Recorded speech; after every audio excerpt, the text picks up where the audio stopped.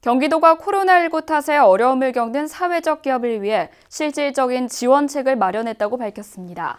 도는 현재 사회적 기업이 노동자 인건비를 지급한 후 지원금을 신청해야 하는 방식 대신 인건비 지원금을 선지급할 수 있도록 할 방침입니다.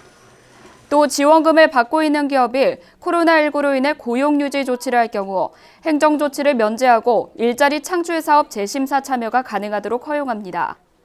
이와 함께 코로나19로 인한 경영 악화로 일시적 임금 체불이 발생한 경우에도 일자리 창출 사업 재심사 참여를 제한하지 않을 계획입니다.